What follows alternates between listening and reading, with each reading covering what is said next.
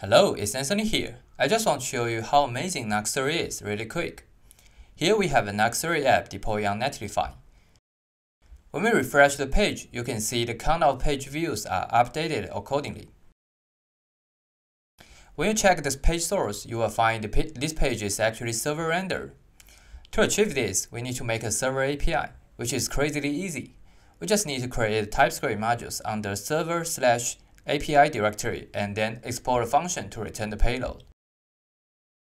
The count will be increased on each call. To use this API, we can use the auto-import use-fetch functions from Nuxt. Note that even we are in TypeScript, all the APIs are well typed. The result of the API call will even infer the types from modules we defined previously. And you can use the functions like useTimeAgo from VueUse directly. And that's really all you need to do.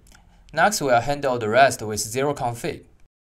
You can check the code on my starter template, Vitesse Nuxt 3, which showcases more features.